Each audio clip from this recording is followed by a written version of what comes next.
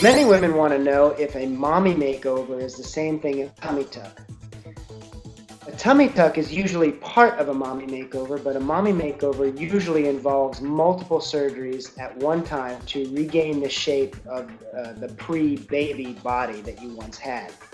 Frequently, it involves some type of breast surgery, either augmentation or breast lift, in addition to a tummy tuck procedure, and can also uh, extend to things like liposuction and other areas as well.